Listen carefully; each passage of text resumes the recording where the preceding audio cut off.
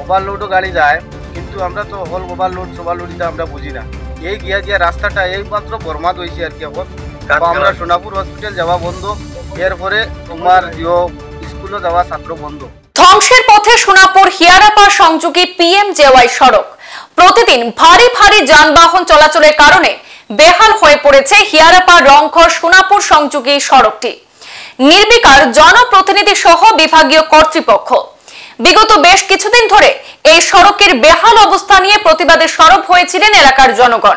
বৃহস্পতিবার সোনাপুর জিপি রংঘর এলাকার মানুষ সংবাদ মাধ্যমে অভিযোগ করে বলেন, প্রায় ছ মাস ধরে শিলচর কালান সড়কের ভাঙারপাড় পুলিশ ফাঁড়ের নিকটস্থ হারান নদীর উপর থাকা সেতু ক্র্যাক হওয়ায় সেই সেতু দিয়ে ভারী যানবাহন চলাচল নিষিদ্ধ করা হয়েছে। সেই সড়কের প্রতিটি গাড়ি এখন গ্রামীণ সড়ক দিয়ে যাতায়াত করছে।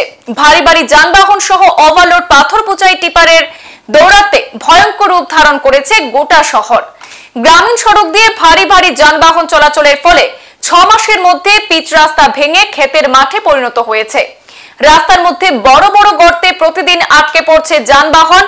ঘন ঘন দুর্ঘটনাও ঘটছে। স্কুল পড়ুয়া থেকে রোগীদের হাসপাতালে নিয়ে যেতে দুর্ভোগ পোহাতে হচ্ছে।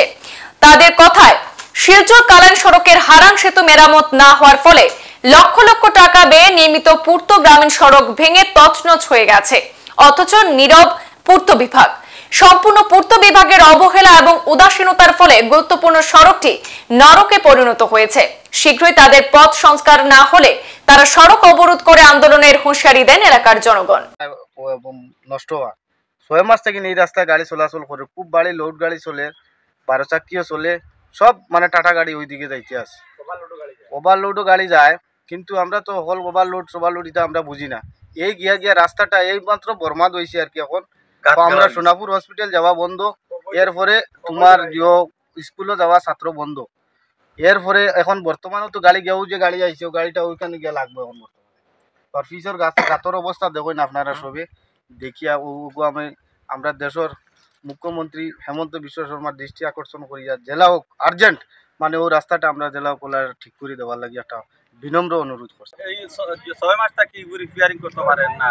আর এই দেন আমরা গ্রামীণ রাস্তা, এইটা দেন গাড়ি ছাত্র, স্কুল ছাত্র গাড়িগুলা কোনো ছোট যাইতে পারে না, হাসপাতালও মানুষ যাইতে পারে না, রাস্তাঘাটে মানুষ হাঁটিয়ে যাইতে পারছে না এই রাস্তা। ওগুলা আপনার কাছে অনুরোধ করি আর হেমন্ত বিশ্ব শর্মার কাছে ওগুলা জলদি করি অতি সত্তর মেরামত করে। বাড়ি গাড়ি।